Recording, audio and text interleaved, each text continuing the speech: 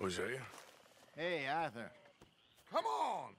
If we're gonna make it to this party, we sure as shit better clean up a little. So we're doing this? Oh, yeah. Old friend Dutch Van der Linde's finally showing his true colors. Social climbing. Old Senor Bronte, that horrendous snake, has invited us to the ball, Cinderella. So my suggestion is we go and get you a gown. Okay. you son of a bitch.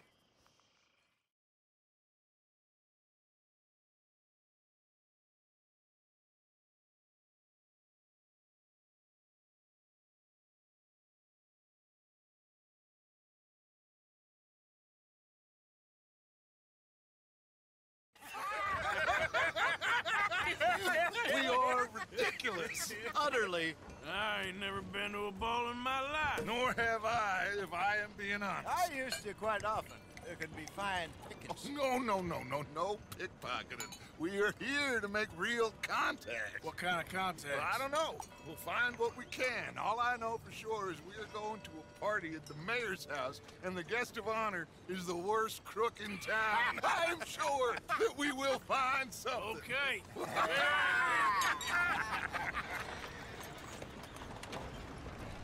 Gentlemen, Luca, I'm afraid the mayor does not allow guns at official functions after last year's incident.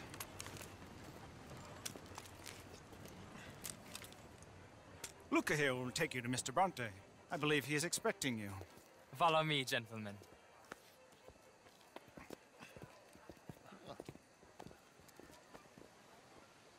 This way, please, gentlemen.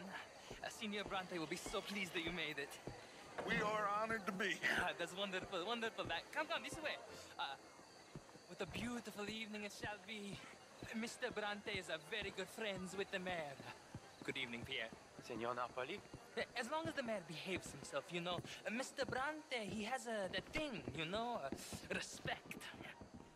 Hosea, Bill, you join the party. We'll meet you out back after we pay our respects to Senor Bronte. Come, come. We'll meet you out in the balcony when you're done.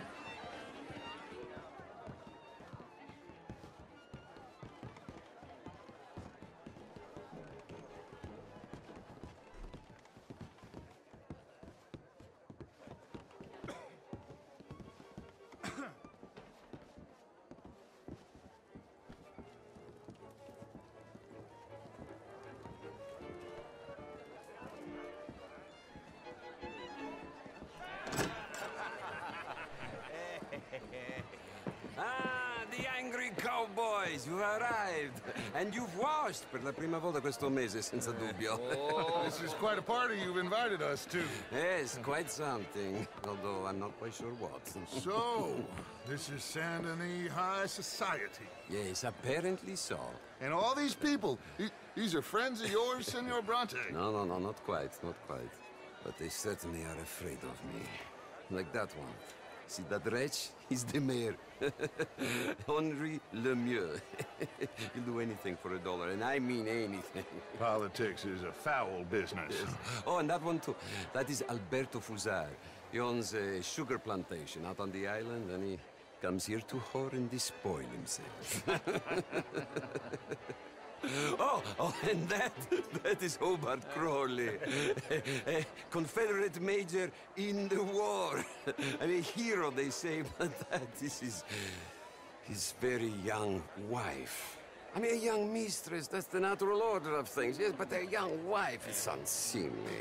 Oh, oh, the Redskins. I have no sympathy for them, because whoever is stupid enough to get tricked by the Americans, no, they get what they deserve, huh? Ah, yes, and a letter to the mayor. Oh, yeah, that'll save you. and that that is Hector Fellows, hmm. This self-righteous newspaper man. Maybe, maybe you will kill him for me one day. Well, we're not paid killers as such, not in cold blood anyway. I did not know you were so particular that uh, you wouldn't help a friend. Oh, I'm willing to help in any way I can, uh, within reason. I'm going to pretend to understand what that means. I meant no offense, sir. Ah, none taken. None taken. All these vulgar people, they hate me. Non vedo l'ora di guardarti morire. Well, uh, it has been wonderful conversing with you, but I can tell that you are very busy, and I won't waste any more of your time. yes, yes, yes. Go, enjoy yourselves and mingle with this vulgar scum. It'll make you long for the days when you could shoot each other and screw cows out on the open range. Those sure were the days. Good day, gentlemen. Mm, good day to you. But before you go, what uh, exactly are your plans here? Well, we've not made any. Well, we are going to need some money. Money, yes, of course. Well, there's, there's money at the trolley station. They keep a lot of cash there in the day. Now, I could not involve myself in such uh, matters. But you, pff, as a guest, yes, as my guest, bah, do it, huh? okay, good day, gentlemen. Goodbye. Ok, ragazzi, adesso il vino buono.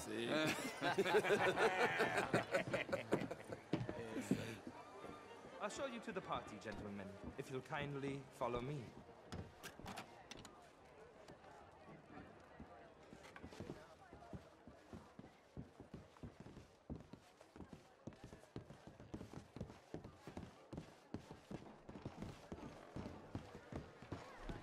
Gentlemen, enjoy your evening and welcome once again to Saint Denis.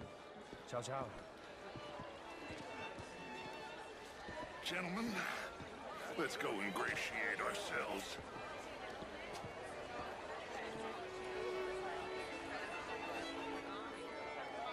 Hmm.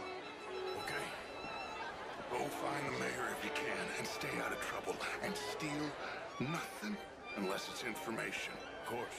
Hosea, you go find us someplace to rob. Bill, go make us some new friends. I'm gonna find out who old Cornwall what's his name. No. Champagne, sir? I mean, modern art is all very well, but my Yeah, well, could yeah. do better. Oh, you're not such a Philistine as all that, Marie. Big enough for me to swim the length. Would you like some champagne? Of course. Thank you, sir. You are quite the gentleman. Clearly not from this swampy hellhole. Thank you. Thank you. Ladies, I'll see you next week. Sure. Total bastard it is, Evening, huh? sir. And again, Oh, one of hello. those large bastards. You're walking away Hello from history. You fool. How's it going? As well as can be, I suppose. Good evening. These Hello? dancers. Well, uh, Evening, all. Bonjour. How are you all doing? Uh, Mr. Mayor, wonderful Je to see vous you. salue. Lemieux, this intellectual here was just insulting me regarding the Redskin. I did no such thing. But, Mr. Lemieux, I suggested that all of us, as Americans, had a duty to take care of people living in this land. And that extends to Saint Denis. It ain't complex, Lemieux. And only an idiot like you, buddy, would try to make it so. I will not deny idiocy, sir, but perhaps now is not the time. Typical pansy. you are drunk, Ferdinand. I'm not drunk, you fool. But this man, this man loves darkies. Hey, you are pretty drunk. Yeah, what say you and me cool off? Get your hands off me. Come on, sleep it off.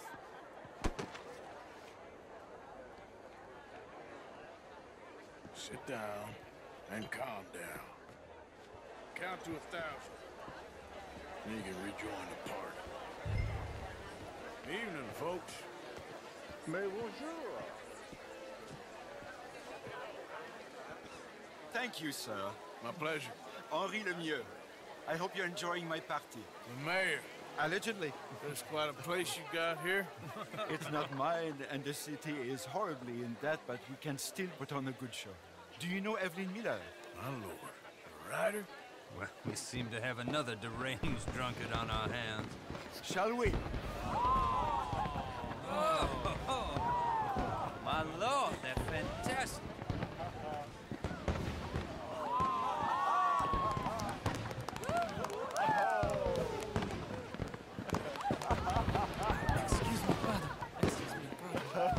Monsieur, please, please, please.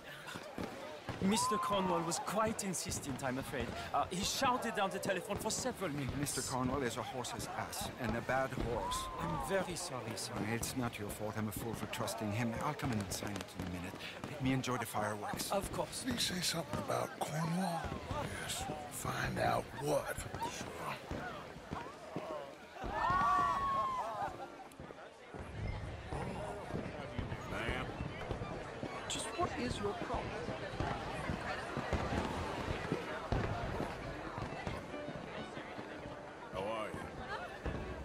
Mister. Why don't you just back up?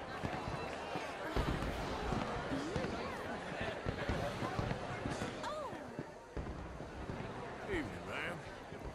Bonjour, monsieur.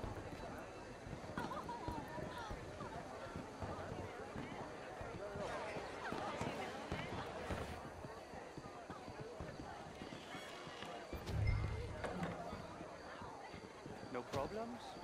Everything's fine. We have the place well secured. Good. Mr. Bronte has a habit of wandering about and reading whatever he likes. We're watching him and his men like hawks. Thank you, Mr. Turner.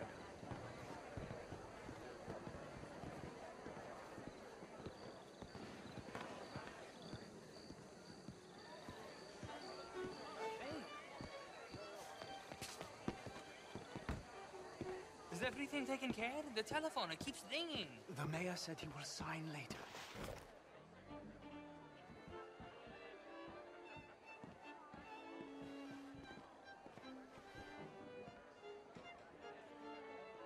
Marie! Marie! Find that little reprobate Jip and beat him. I will not have standards slip in this house. Have you lost your mind? I said, have you lost your mind? Come here. Come here. Look at me. Look at me. Who do you think you are? This area is not meant for the likes of you. You know this. The standards in this house are slipping. This is a final warning to you, miss. A final warning. Now get out of my sight.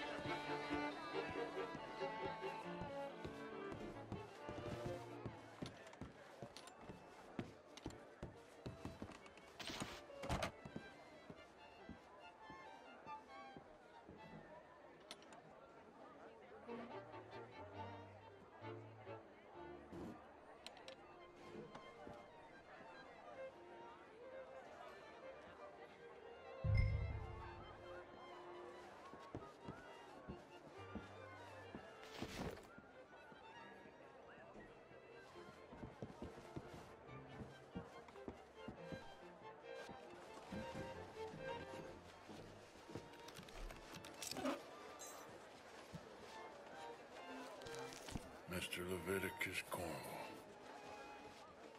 Top secret. Extremely confidential.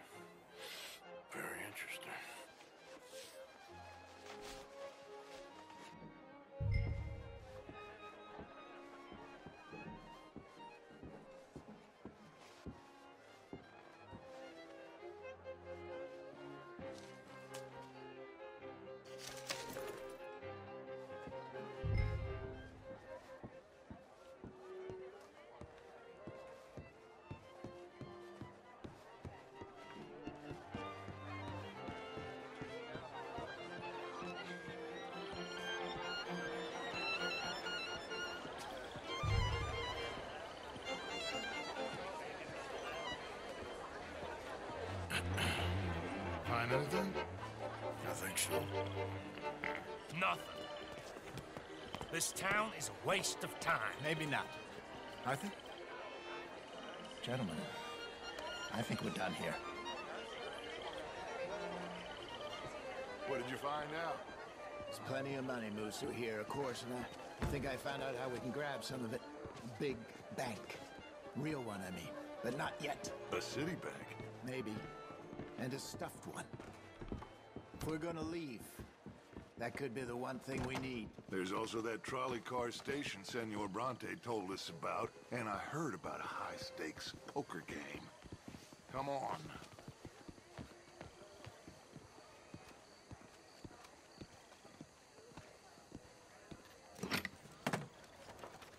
Here comes Lenny. All right, let's get in. Go home. I ain't never felt so awkward in all my life. All them folk all so pleased with themselves. Oh, high society's pigeon shit. If you ask me, it's more like torture. Well, that's sort of the point, isn't it? Let the people torture themselves. Here's them papers I took. Anybody see you take this? I don't think so. Hmm. I might have an idea. Let me think on it.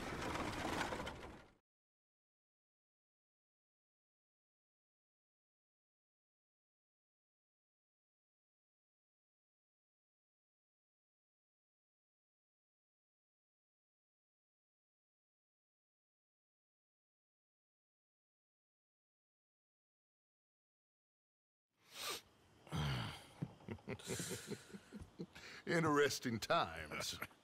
I guess. So what's next? Dancing lessons? Deportment? More along the lines of armed robbery. Hosea is handling reconnaissance on the bank. He and Abigail are gonna run some distractions, see how the law react. Good. Oh, and I spoke to Evelyn Miller. Fine man. Here helping the Indian chief we saw. Yeah, I met him too, with the mayor. He's lobbying officials in Saint Denis on their behalf. Maybe we could help. Maybe. Now, I think there's a lot of money on the riverboat. A lot of money. And Trelawny, he's investigating for us. He says to meet him at the tailor's. Okay. One big score down here, Arthur, and we disappear. We are almost heading home. Where is home? I don't know. Exactly. But I can smell it. I'm gonna go investigate this trolley thing old Bronte was talking about. Okay.